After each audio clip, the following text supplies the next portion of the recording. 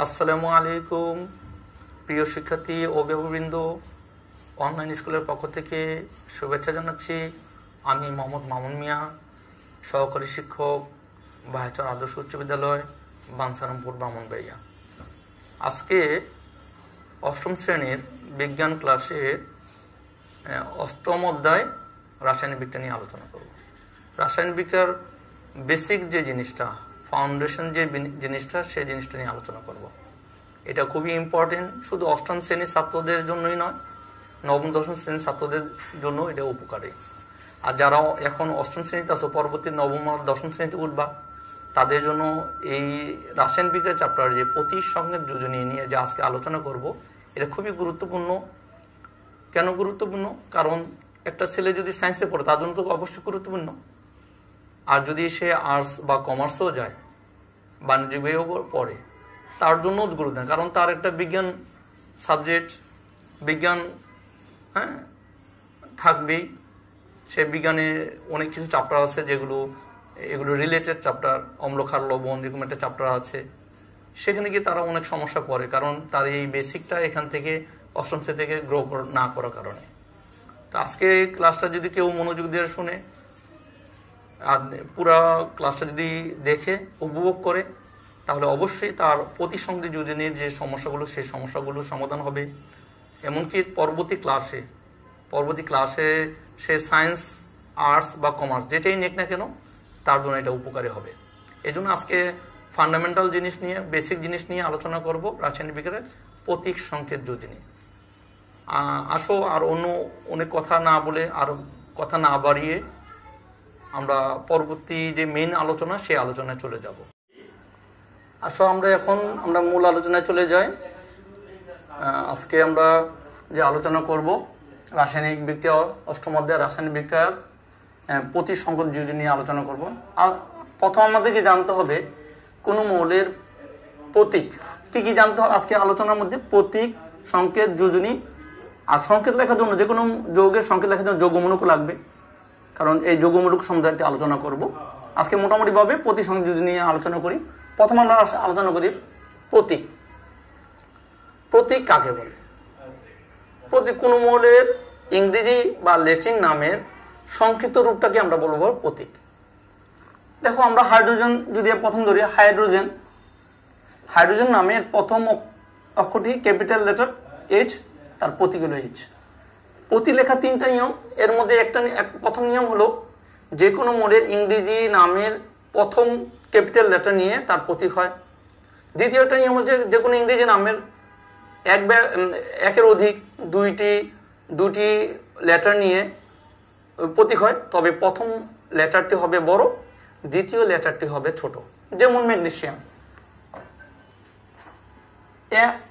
M G.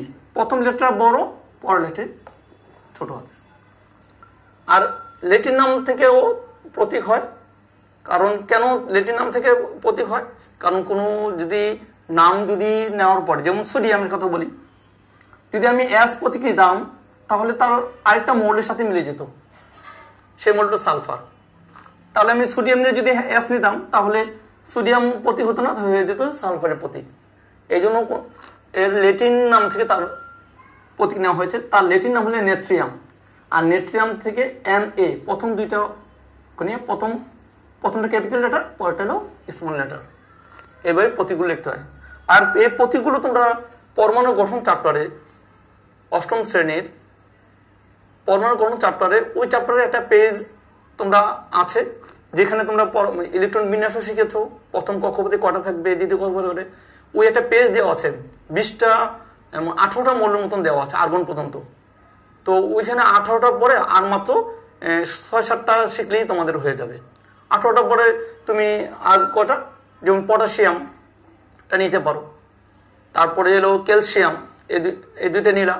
তারপরে iron, copper আর zinc. তাহলে তোমার মোটামুটি পঁচিশটা মৌলর মতো মোটামুটি প্রতীকগুলো জানলে তোমার হয়ে যাবে। অষ্টম শ্রেণির জন্য হয়ে যাবে। তারপর আসো? সংকেত কি? সংকেত হলো কোন মৌল বা যৌগের অনুর সংক্ষিপ্ত রূপটাকে আমরা বলব সংকেত। আর অন্যান্য ভাবে সংজ্ঞায়িত করা যায়। সংক্ষেপে তোমাদের সহজের জন্য আমি বলছি, কোন মৌল বা যৌগের অনুর সংক্ষিপ্ত রূপটাকে তাকে বলে সংকেত। যেমন, হাইড্রোজেন অনুর সংকেত হলো এস টু। এখানে দুই, হাইড্রোজেনের কয়টা পরমাণু আছে? দুটি এখানে হাইড্রোজেনের কয়টা পরমাণু আছে? দুটি পানি একটি যৌগিক পদার্থ পানির সংকেত যদি পানির একটি, এক- পানির অণুর সংকেত হলো এস টু ও এক পানির মধ্যে দুইটি হাইড্রোজেন পরমাণু আর একটি অক্সিজেন পরমাণু বিদ্যমান। দুইটি হাইড্রোজেন পরমাণু আর একটি অক্সিজেন পরমাণু মিলে পানির একটি অণুর সংকেত হলো এস টু ও এভাবে বিভিন্ন যৌগের সংকেতগুলো লিখতে হয়। এই সংকেতগুলো লেখার জন্য আমাকে জানতে হবে, মৌলগুলোর প্রতীক জানতে হবে মৌলগুলোর যোজনীয় আমাকে জানতে হবে। যদি আমি যদি মৌলগুলোর প্রতীক না, জানতে না পারি, তাহলে তো প্রতীক না হলে সংকেত আমি লিখতেই পারব না। আর যোজনী না জানি সংকেত পরিপূর্ণ সঠিক হবে তাহলে আমি একটা শুদ্ধ মানে পরিপূর্ণ একটি যৌগের বা মৌলের সংকেত আমি লিখতে পারব। তাহলে আমাদের আগে বলেছি, তাহলে আমাদের প্রতীক অল্প আলোচনা শেষ হলো। সংকেত আলোচনা শেষ হলো। তারপর আসলে আমাদের যোজনী। যোজনী কি? যোজনী হলো অনুগঠনকালে কোনো মৌলের একটি পরমাণুর সাথে অপর মৌলের পরমাণুর যুক্ত হওয়ার ক্ষমতাটাকে তাকে বলব যোজনী। এটা আরও অন্যভাবে সংজ্ঞায়িত করা যায়। কোন মৌলের একটি পরমাণু যতগুলো ওই পরমাণু বা হাইড্রোজেন পরমাণু বা ক্লোরিন পরমাণু যুক্ত হওয়ার ক্ষমতা, সেটাকে আমরা বলব যোজনী। এই যোজনীগুলো আবার বলছি যে অষ্টম শ্রেণির জন্য তোমার পঁচিশটা, কমপক্ষে পঁচিশটা মূলের প্রতীক এবং যোজনীয় জানতে হবে। আর একা নবম শ্রেণি দশম শ্রেণির জন্য আমি বলব, কমসে কম পঁয়তাল্লিশ থেকে পঞ্চান্নটা মৌলের প্রতীক, যোজনী এবং পারমাণিক সংখ্যা পারমাণিক বড় জানতে হবে। আর অষ্টম শ্রেণি যারা আসো তারা কমসে কম পঁচিশটা মৌলের প্রতীক যা যোজনী জানলে তোমরা সংকেত এবং তোমাদের পুরা বইয়ে যে বিজ্ঞান বইয়ে, এগুলো বিভিন্ন জায়গায় যে সংকেতগুলো আছে এগুলো তুমি অল্প দিয়ে লিখতে পারবা। এখন আমরা দেখো যোজনী যোজনী আমরা সংজ্ঞায়িত করলাম, যেমন হলো পটাশিয়ামের যোজনী এক, ক্যালসিয়ামের যোজনী দুই। এই যোজনীগুলো তুমি কোথায় শিখতে পারবা? তোমাকে অবশ্যই কিছুটা একটু মুহস্ত করে নিতে হবে। তোমাদের বইয়ে রাসায়নিক বিদ্যা চ্যাপ্টারে একটা চার্ট আছে। যে চার্টে অনেকগুলো মৌলের, এক যুজি দুই দ্বিযুজি ত্রিযুজি হ্যাঁ চতুর্থ যুজি মানে এগুলো অনেকগুলো মৌলের। তোমাদের তোমাদের এখানে যৌগমূলকেরও যোজনী দেওয়া আছে। ওইখানে যৌগমূলকও আছে মৌলগুলোর যোজনী দেওয়া আছে। এবং এক যদি দ্বিযুধি প্রতিটা আলাদা আলাদা বক্সে দেওয়া আছে। তুমি ওইখান থেকে অবশ্যই তুমি শিখে নিবা। যদি ওখানে মুস্ত করে ফেলতে পারো এবং কার কি যোজনী সেগুলো যদি জানতে পারো, তো তুমি অটোমেটিকলি তুমি এগুলোতে প্রয়োগ করে তুমি সংকেতগুলো লিখতে পারবা। তাছাড়া তুমি যদি ওই কোন কোন মৌলের এক বা একাধিক যোজনী ব্যবহৃত হয়। কোন কোন মৌলের দুইটা, তিনটা যোজনীয় আছে। যেমন আয়রনের।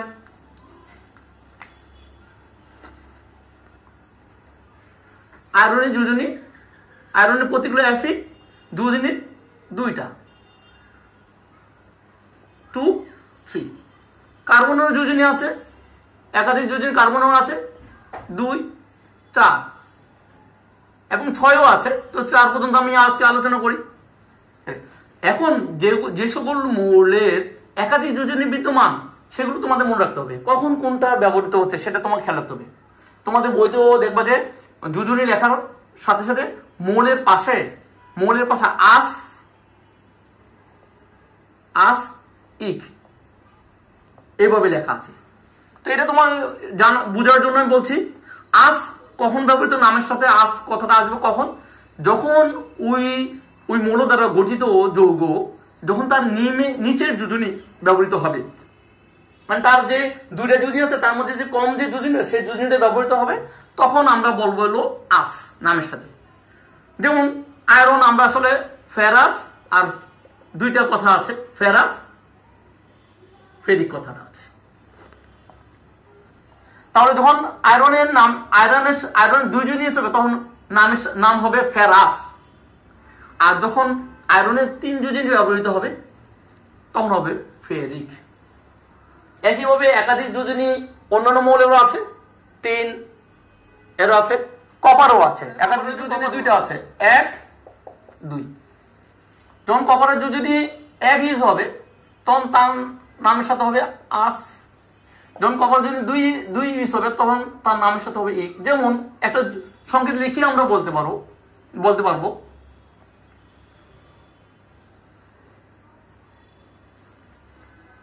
এটা একটা হলো, এটা হলো। যখন এখানে কপার এখানে দুই যোজনী ইউজ করেছে এই জন্য তার, এর নামটা হবে কিউপ্রিক অক্সাইড ইক।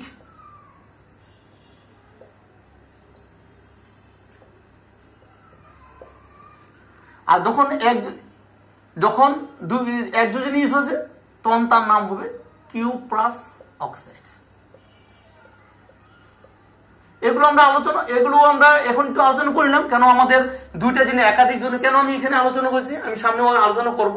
সংকেতগুলো এভাবে লিখতে হয়। কেন আলোচনা এই জন্য আলোচনা করেছি যে কেন দুইটা দুজিনে আমার মনে রাখতে হবে।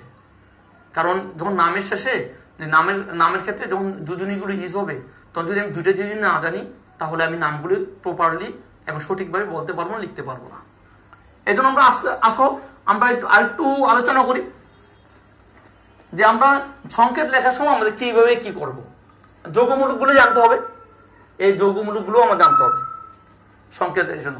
যৌগমূলক যৌগমূলকগুলো জানতে হবে যৌগমূলক সংজ্ঞা আমার জানতে হবে এবং যৌগমূলক কি? তোমাদের ওইখানেই, ওই চার্টের ভিতরেই যৌগমূলকও আছে। ওই চার্টের ভিতরে যৌগমূলক আছে এবং ওইখানে সম্ভবত নয়টা যৌগমূলক আছে। ওই যৌগমূলকের সংকেতগুলো জানবা এবং তার যোজনীগুলো জানবা। কিন্তু কমসে কম বারোটা জানলে ভালো হয়, নবম, দশম শ্রেণি পর্যন্ত চলে যাবে যদি বারোটা জানো। কিন্তু অষ্টম শ্রেণীতে তাহলে আমি খালি আর দুইটা যোগমূলক খালি অ্যাড করে দিচ্ছি। এর মধ্যে একটা যোগমূলক অ্যাড করে দিচ্ছি। তোমাদের বইতে হাইড্রোজেন কার্বনেটটা আছে এস সিও থ্রি আর এটা নাই এই জন্য আমি এটা লিখে দিয়েছি hydrogen sulphate H S O four তার আদান হলো মাইনাস ওয়ান তার দুজন হলো ওয়ান আর এটা নাই ফসফেট আছে, কিন্তু ফসফাইট নাই। জন্য আমি এটা লিখেছি ফসফাইট পিও থ্রি আদান থ্রি মাইনাস এবং তার যোজন হলো থ্রি এইটা জানব যৌগমূলকের সংজ্ঞা যদি আমি বলতে চাই দুই বা ততোধিক মৌলের একাধিক পরমাণু একত্র একত্রে সংযুক্ত হয়ে একটি পরমাণুগুচ্ছ গঠন করে, যা বিভিন্ন রাসায়নিক অংশগ্রহণের সময় অপবৃদ্ধি থেকে একটি পরমাণু নিয়ে আচরণ করে তো ওই গ্রুপটিকে আমরা কি বলব? যৌগমূলক তখন তাকে আমরা যৌগমূলক বলে একটি পরমাণু নিয়ে আচরণ করবে। তাহলে আমরা যৌগমূলকগুলো তোমাদের ওখান থেকে মুক্ত করে নিবা এবং যোজনীগুলো মুক্ত করে নিবা তাহলে তোমার জন্য অল্পতেই তুমি অল্পতেই পারবা। এখন কীভাবে সংকেতগুলো লিখতে হবে? সংকেতগুলো লেখার জন্য কতগুলো কথা মনে রাখতে হবে? যদি একটা মূল্য ধরে আমি ধরে নিলাম এ একটা মূল্য এবং বি একটি মূল্য। এই এই মূলের এ মূলের যুজনী ধরে নিলাম এক্স আর বি মূলের যুজনী ধরে নিলাম ওয়াই তো সংকেত লেখার জন্য সাধারণ সংকেত, তো তাদের এই দুটি মূলের দুজন, দুটি মূলের সম্মিলিত সংকেতটা যে সেটা হবে, এটার একটা সাধারণ সংকেত আমি লিখতে পারি কি? এ ওয়াই দেখো এখানে একটি লক্ষ্য করো। এ মূলের যোজনী এক্স বি মূলের যোজনী হলো ওয়াই আর এখানে সংকেত হলো কি? এ ওয়াই বি নিচে এক্স দেখো তাহলে এ মূলের যোজনী বি মূলের কাছে গিয়েছে, আর বি মূলের যোজনী কি? এ মূলের কাছে আসছে। তাহলে তাহলে আমরা বুঝতে পারলাম, যদি আমি এভাবে এই নিয়মটা অনুসরণ করি, তাহলে দেখো, আমরা একটি সংকেত লিখি। ধরো, ধরে নেই, আমরা একটি সংকেত সোডিয়াম ক্লোরাইড বা sodium sulphate sodium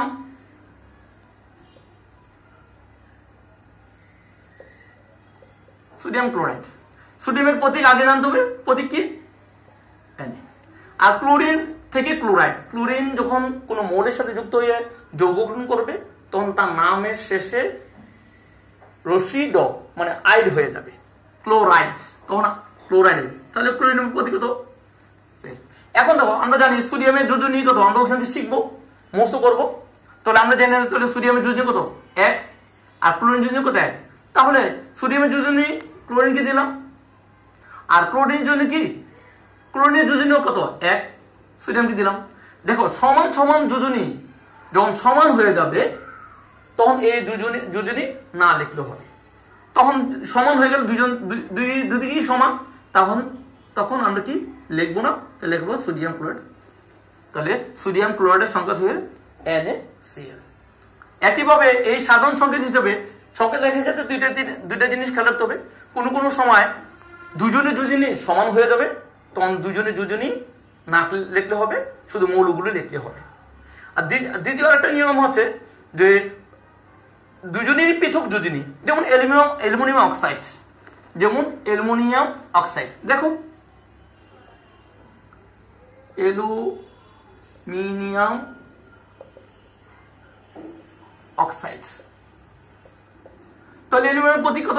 এল আর অক্সিজেন থেকে অক্সাইড তো অক্সিজেন কত এলো? অ্যালুমিনিয়াম যদি তিন, আর অক্সিজেন যদি নিল দুই। তাহলে অক্সিজেন যদি কাকে দেবো? এটা নিয়ম অনুযায়ী। এ যদি নিয়ে কাকে দেবো? বি কে।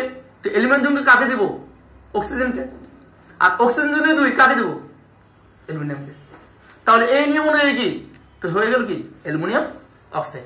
তাহলে এর নিয়ে ওকে অন্যকে দিব মনে যদি নিয়ে আবার তার কাছে আসবে। তো এইভাবে যে যে সংকেতটা তৈরি হবে, এটা হলো এই অ্যালুমিনিয়াম অক্সাইডের যৌগের সংকেত। তাহলে এখানে প্রত্যেকে আলাদা, আলাদা- আছে এই জন্য কি সমান না? এই জন্য এটাই তার সংকেত। আর যদি সমান হয়ে যায় তখন দুজন থেকেই বাদ দিয়ে শুধু মৌলগুলো লিখলে তার সংকেত হয়ে যাবে। আরেকটা আরেকটা আছে যে, আরেকটা তৃতীয় একটা নিয়ম আছে সেটা হলো যে দুজনে দুজনের এরকম যেমন carbon dioxide carbon dioxide এইটা, এই, এটা আমরা দেখি কীভাবে হলো। কার্বনের প্রতীক হলো সি, আর অক্সি, অক্সিজেন কত? প্রতীক হলো ও। তাহলে এখন আমি যদি কার্বনের যোজনী, আমরা জানি চারও আছে, দুই আছে, চারও আছে। এখানে চার যোজনী নিতে হবে। আর অক্সিজেন যদি আমরা সর্ব সবসময় জানি কত? দুই। এখানে কার্বন ডাইঅক্সাইডের সংকেতটা আমরা কীভাবে লিখব? যখন এরকম হবে, তখন তাদের একটি সাধারণ একটি সাধারণ সংখ্যার গুণিতক এই দুইটা সংখ্যা। ওই যেই সংখ্যার গুণিতক, সেই সংখ্যা দিয়ে দুইজনকে ভাগ করলে যে যেটা পাওয়া যাবে, সেটাই তার হবে সংকেত। এখন দেখো দুটোই দু- দু- সংখ্যায় দুই, টু এবং ফোর। দুইটাই দুই দিয়ে কি হয়? ভাগ যায়। তা দুই দিয়ে যদি এটাকে ভাগ করি, তাহলে এক। দুই দিয়ে কি চারকে ভাগ করে হবে? তাহলে এই ওয়ান তো না লিখলেও চলবে। তাহলে তো কার্বন ডাইঅক্সাইডের সঙ্গে কি হবে? সি ও আচ্ছা এটা এভাবে যদি বুঝতে সহজ হয় কঠিন হয়, তাহলে এভাবে করতে পারো। এটা যদিও এভাবে আসলে পরিপূর্ণ ঠিক না এভাবে আসলে কি? এটি সাধারণ সংখ্যার গুণ, গুণিগুলো সংখ্যা দিয়ে ওটা ভাগ করলে যে ভাগফল হবে সেই ভাগফল হবে তার যো- সংকেত কিন্তু এটা যদি বুঝতে কষ্ট তাহলে এভাবে দেখো। এভাবে করতে পারো। এগুলো সময় তাহলে তুমি যে কোনো তোলা তাহলে পঁচিশ থেকে ত্রিশটা মৌল যদি প্রতীক জেনে ফেলো, এবং তার দুজনই জানো, এবং যৌগল যেগুলো বলেছি, তোমাদের বইতে নয়টা আছে আর এখানে দুটো লিখছে, মোট এগারোটা। এই এগারোটা মৌলের যৌগমূলকের যদি প্রতীকগুলো জানো এবং সংকেতগুলো জানো এবং দুজনীগুলো জেনে ফেলো, তাহলে তুমি অল্পতেই পারবে। তাহলে দেখো, এই সংকেত তুমি অল- অল্পতে পারবে। তাহলে আজকে এতটুকু প্রতি সংকেত যদি এই জন্যই ইম্পর্টেন্ট কারণ সামনে যে রাসায়নিক বিক্রিয়া যে অন্যান্য আরও কিছু আছে, সেগুলো পড়তে হলে তোমাকে এগুলো জানতেই হবে। তোমাকে এগুলো না জানলে তুমি এগুলো রাসায়নিক বিক্রিয়া। আচ্ছা রাসায়নিক বিক্রিয়া লিখতে হলে তোমাকে তোমার একটি যৌগের সংকেত লিখতে হবে আগে? তারপরে আরেকটা যৌগের সাথে বিক্রিয়া করবে বা একটি মৌল আরেকটা মৌলের সাথে বিক্রিয়া করবে। তোর মৌলের প্রতীকটা না জানলা, বা যৌগের সংখ্যাটা তুমি লিখতে না পারলা। শুনে তাহলে তুমি বিক্রিয়া করলে যে উৎপাদ উৎপাদ হবে সেই উৎপাদন সংখ্যাটা ঠিক মতো লিখতে পারবে না। তো সবচেয়ে বেসিক আমি মনে করি, অষ্টম শ্রেণির ছাত্রদের জন্য সবচেয়ে বেসিক যে ধারণা তোমাকে নিতে হবে, এই প্রতিসংখ্যা করে আজকে এই পর্যন্ত থাকল। আল্লাহ হাফেজ। পরবর্তী ক্লাসে ইনশাল্লাহ রাসায়নিক বিজ্ঞানের শুনে বিক্রিয়া নিয়ে অন্যান্য যে আরও বিক্রিয়াগুলো আছে, আমরা সেগুলো আলোচনা করব। আজ আজকের জন্য এখানে। খোদা